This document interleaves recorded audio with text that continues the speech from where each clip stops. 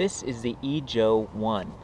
It's their first sort of off-road mountain bike, electric bike, and uh, sort of a prototype, still kind of in development. There are a few hang-ups with it at this point, but I'm excited to see where they go. Uh, I've actually tested this bike twice. This is the second time, and I've, I've seen them making progress. These guys make a couple of really great folding electric bikes called the Epik, and uh, I'm excited to see them sort of refine this one to meet that quality level. So let me just jump into what they've got right now. Three rings on the front, eight on the rear, so it's 24 speed Shimano Acera.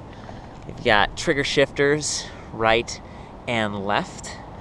Some nice knobby tires here, the RST suspension with lockout and rebound adjustment. Decent, kind of a generic metal pedals going on here, little kickstand action, and mechanical disc brakes. So, fairly standard bike. And at present, I think it only comes in this one size, which is sort of medium. The flat black is pretty cool. So let me just jump into the drive system here. This is a 350 watt geared rear hub motor. I've seen them talking about a 500 watt, maybe they end up with 350. It's pretty powerful and uh, it's you know fairly capable for a bike like this that isn't extremely heavy and it's not uh, very large. The battery is enclosed right in that down tube there, and it is a 36 volt 9 amp hour Samsung lithium polymer cell. And actually, the unique part about it is, of course, that it keeps the weight low and distributes it evenly across the frame. That's what you want to do if you if you've got a purpose-built electric bike like this. The downside to it, though, is that you'll notice here the key has to be left in when riding, and it's in a pretty vulnerable spot. You know, your pedals go right by that. You wouldn't want to kick it; you could damage it. Uh, that's the charging port, and on the underside, there's another keyhole, and and you have to unlock it to pull the battery out. So technically, this has a removable battery, so you could charge at work. But I think in practice, it's really not going to work that well because it's just not very convenient. So that's a little bit of a bummer. Also, controlling that is this, you know, you've got a nice computer LCD screen set up, three levels of assist, shows your speed, your distance, um, more precise battery capacity than if it were just LEDs, which is nice. And they've got a breakout switch console here where you can kind of reach it, you know, when you're pedaling, turn it on, change the pedal assist level.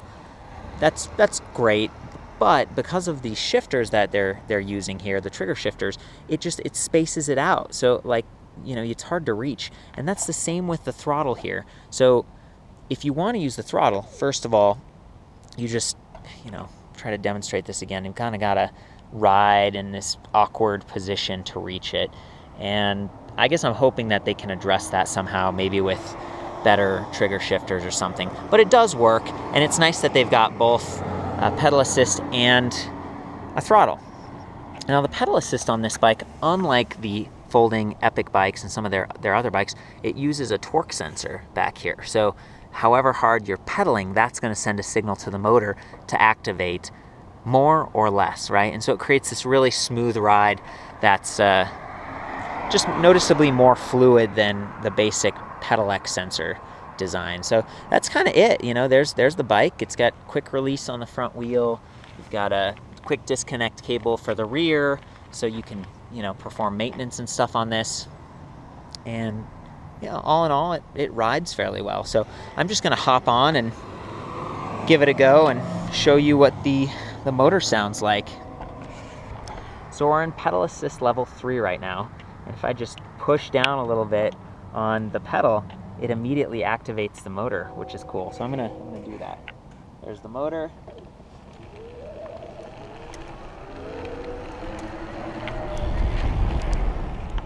Nice and smooth. And I'm gonna do it just a little bit. Remember, we're in pedal assist level three right now. So when I do it just a little bit, we should hear it just quietly creeping in.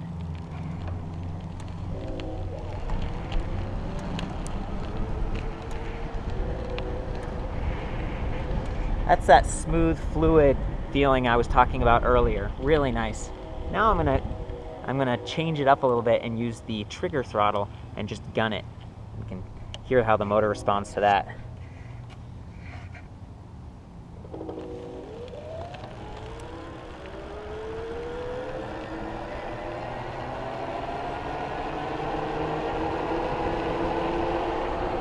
A 20 mile per hour top speed, and we're getting there.